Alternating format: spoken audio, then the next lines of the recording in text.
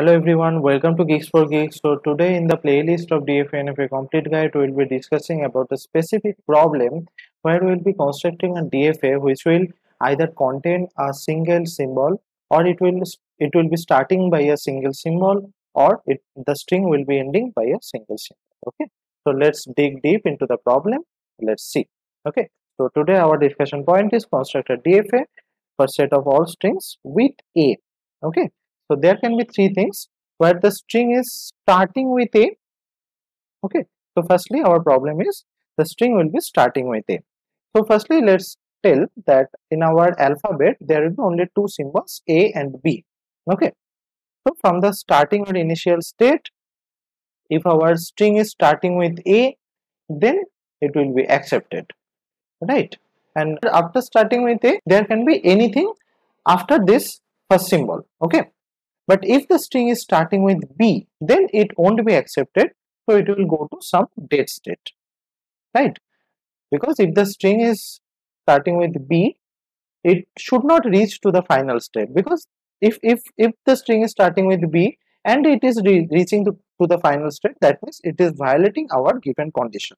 Okay, so that should not happen. So if the string is starting with A, then the string will be accepted. After that after the a anything can come. Okay any any other a's or b's can come. That won't matter. But the starting symbol should be a instead of b. Okay so this is the dfa which will accept such strings which are starting with a.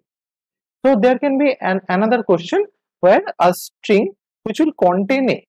Okay so it means that in the initial state i mean from the initial state if you are getting a a okay if we are getting a a in any point of the string then our string will be accepted.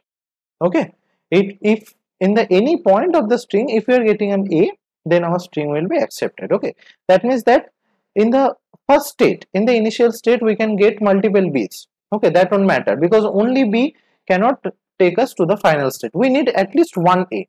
Okay so whenever we are getting that specific a will reach to the final state and in the final state there can be any number of a's and b's after that a.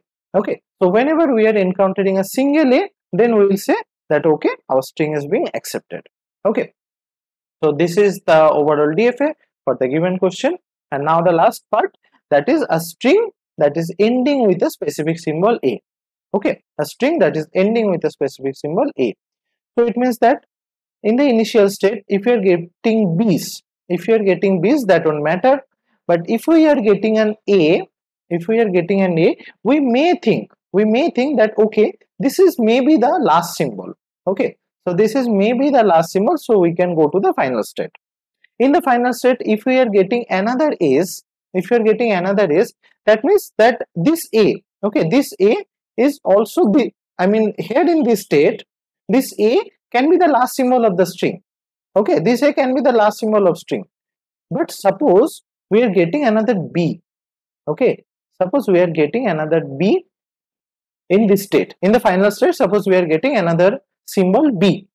So if we are getting another symbol b that means that that means now in now in this condition our string won't be is not ending with a okay our string is not ending with a. Hence we will go to the intermediate state. And from the intermediate state we need again one a at least one a to get to the final state.